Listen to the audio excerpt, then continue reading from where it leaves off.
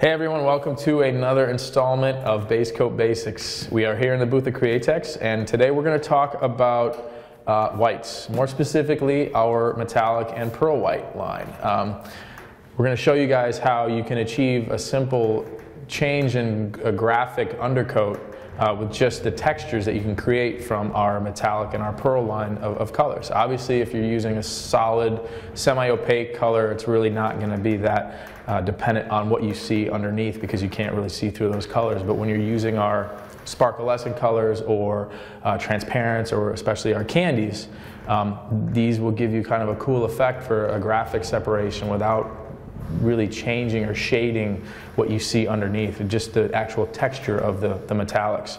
So we're going to start. You guys can see I have my hood here. This is already uh, sealed up with our AutoBorne Sealer white. So it's two coats of white over the whole panel.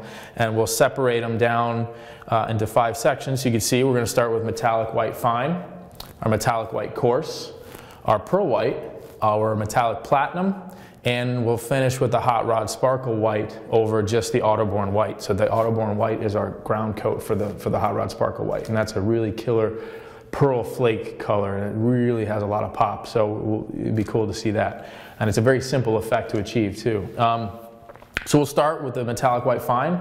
Um, these are all going to be mixed the, uh, the exact same way. Uh, I like to go 25% 40-30 uh, to the overall mix, so it's a 3 to 1. So we'll start with our metallic white fine. Um, we'll get it in the cup and we'll, you guys can see what it looks like while I'm mixing it. Um, we're not gonna show me mixing every single one of these colors because again, the ratios are exactly the same. That's how I like to spray them. And you guys don't wanna watch me mix five different colors the same way. So we'll get this mixed, we'll get it on the panel. You guys can see what it looks like. Okay, we're going to start mixing. Uh, again, this is already shook. Uh, again, every time there's a, a bottle uh, with a marble in it, we, got, we want you guys to shake these up pretty good. So we're going to start with our mix, which I said, again, I'm touching on big gun application. So I do like going uh, three to one. So it's three parts paint to one part 40-30 to 10% reducer. So I'm using uh, my LPH 80, my Iwata LPH 80. So anytime a spray gun application, that's kind of where I feel the paint performs the best. That's what we like, uh, that three to one mix. But doing an airbrush, it would probably be about 10% of the overall mix of the 40-30. So I'm gonna go up to one part with my 40-30. And then I'm gonna go 10% of my 40-11. That's right about there. So we're gonna stir this up. Just like we always say, we want you guys to mix this for at least a minute, let it sit. The longer it sits, the better. Everything acclimates, everything gets mixed together, and that, that emulsifies and, and marries together to create a nice film. Okay, it's been about a minute. We got everything mixed up. Uh, we're gonna get it into the gun and get ready to spray. Um, you guys know if you've seen the other videos, I do use the PPS cups. They have the built-in strainers, um, which are great. But if you're not using it, um, we do recommend straining your paint. So usually about a 200 micron, 125 to 200 is, is good for the water-based paint. Um, so just keep that in mind. Uh, we do recommend straining, making sure just anything left over in the cap, sometimes residual paint that's dried up in the top, you never know. It's just cheap insurance, making sure everything's all set. So I got it in my gun. Uh, we're gonna spray some so you guys can see what it looks like. Okay, I got my paint in my gun. Uh, again, this is an LPH 80, an Iwata LPH 80. Uh, we had some questions uh, on other videos about this. This is a 1-2 tip, uh, the E4 air cap, and I'm spraying it right around 16 PSI into the gun. So that's about, about the sweet spot for this gun for our paint too. Um, anything higher, sometimes it tendencies to uh, create a little funny shaped fan. So usually their recommended air pressure is, is right about where you want to be. I'm going to be about 8 inches off the panel. So I just want a nice medium coat of paint and uh, we'll show you guys what that looks like.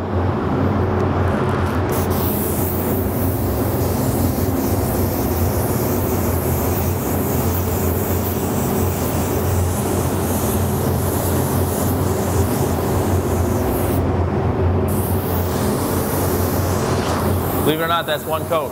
And, that's the beauty of going over a sealer white. Um, you do all the hard work with your sealer uh, and it should take two coats of, of white, metallic white over that, in this case the metallic white fine. Anytime that you have to do more than that in terms of material, you're going to start stacking the metallic. You're going to start stacking the pearl, and it's going to cause more problems. So if you can do a ground coat with our sealer, or at least color keying your sealer, it's going to make your life a lot easier. That's why we recommend, that's why we're so adamant. We do these videos and we're always talking about ground coat and, and like your base coat. It's, it's a lot easier to do this in the sealer white and if you have any imperfections or if there's anything you're trying to get rid of, it's a lot easier to sand it. That's what it's designed for. It's, it's really like a, a primer, essentially, that once it's dry, you can sand it with a piece of 800 and it's going to powder right up. You sand it with 400, it's fine. I don't really recommend going any coarser than 400 if you're going to put base over the top. Um, but it's a lot easier to do all that prep work with the sealer rather than trying to sand out imperfections with the metallic. You know, again, you're you're trying to fix base coat, and the base coat isn't really designed to to be a primer. So sealer is is the thing to do. It's a ticket. It's easier in the long run. You get a nice ground coat down, and then when you put your color over that, it should be two coats, and you're ready to go. So this is pretty much ready for another coat. So I'll throw another coat on, and uh, we'll see what that looks like.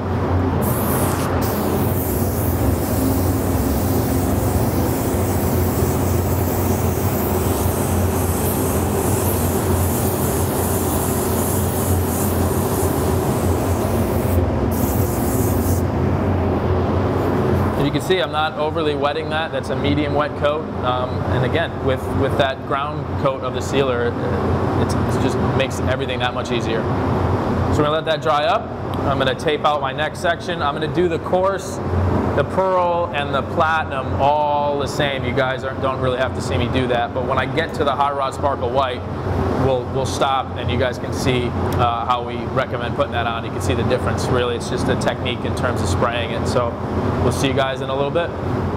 Okay everyone, we're back. Uh, all these sections are sprayed. So we did the metallic white fine, we did the metallic white coarse, we did the pearl white, and we did the metallic platinum. And now, like I said, we're gonna talk to you about our Hot Rod Sparkle White over our AutoBorne White sealer. Um, we love this. It's a very clean, crisp pearl white flake. Um, it's a very easy uh, finish to achieve. Uh, just the technique is a little different. I'm not doing anything different with the reduction the way I mix this. It's the same thing. I did 25% 40-30, so it was three parts paint, one part 40-30 to 10% 40-11. Um, same air pressure in the gun. The only difference is I'm gonna put it on more like a guide coat because this is essentially a, a wet flake. It, it's in its own carrier already, so we're not trying to, you're not going to get coverage with this color. You're not going to bury uh, black or dark, even if there was white and gray, you wouldn't cover the gray with this flake. That's not what is going to happen. So I'll show you guys, it just kind of goes down like a guide coat. Um, a little bit more coats is what we prefer, but again, less material in those coats. So like three to four, four coats is really a sweet spot because you really want that glitter effect. So I'm gonna show you guys what that looks like.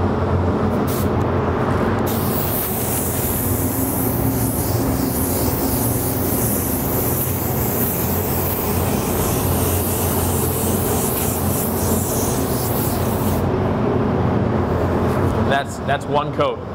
Again, I'm faster with my hand speed. I'm a good eight inches off the panel. Uh, I'm not trying to get a wet coat of paint on because it's just going to cause more problems. You're not trying to get coverage. All you're trying to do is put this flake down. Uh, each one of these was about two coats, two coats over that white sealer it, it, looks fantastic. It's nice and even. Uh, there's, there's dry times. You can see that first one I did, it was dry, just blowing a little bit of air over it. It was dry in less than a minute. You know, again, if you're lighter with your coats, a little lighter with the gun, um, you're going to have faster tape times and faster dry times. And there's no reason to put that much material on when you already have a color keyed base. So I'm going to show you guys here with the light because I don't know if it picks up on there, but there's definitely, you can even see the overspray here of that, that flake, that glitter effect. And that's what we're trying to get. We're trying to get that white glitter with, with the cool, crisp white AutoBorne sealer as the, the ground coat, and it's gonna look really cool. So I should be ready for another coat. I'm gonna do another coat. and you guys see what that looks like.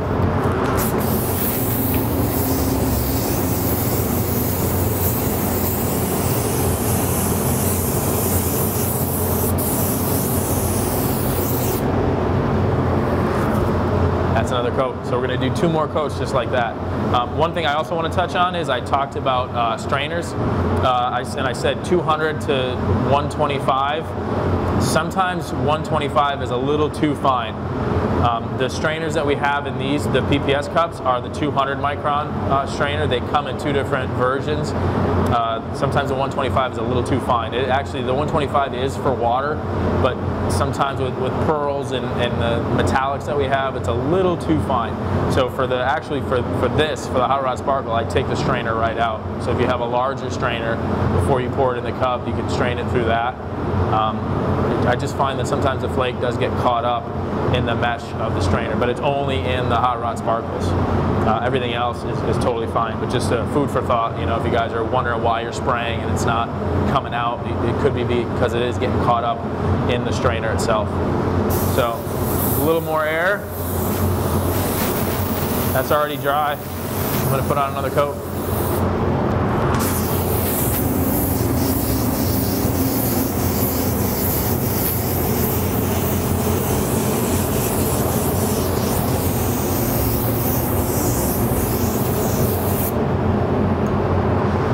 So that's three coats. We're going to do one more. All right, everyone, we're back in the booth. It's been about an hour since our last coat went down, so everything's nice and dry. We're going to put some 2K automotive uh, clear over the top so you guys can see what it looks like. Um, not quite sure if you can pick up the difference in the booth lighting. The, the difference is really subtle, but that's kind of the beauty part of what we are going after to show you how you can create texture with different metallics. Um, so just a recap, we go over, this is our metallic white fine, this is our metallic white coarse, this is our pearl white, this is our metallic platinum. I think that one really stands out. And uh, this is our hot rod sparkle white over our AutoBorne sealer white. And that gives you the biggest flake effect. Uh, but again, it's, it's kind of hard to see it. So we're gonna put some clear down. You guys can see what that looks like. And then we'll try to get it outside so you guys can see what it looks like in the sun.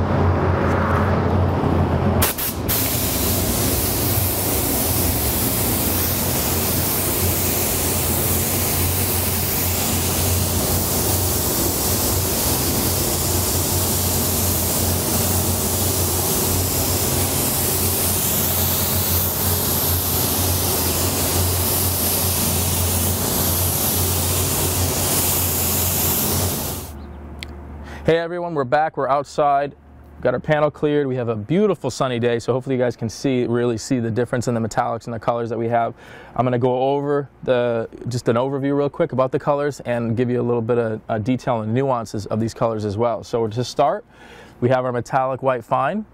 We have our metallic white coarse.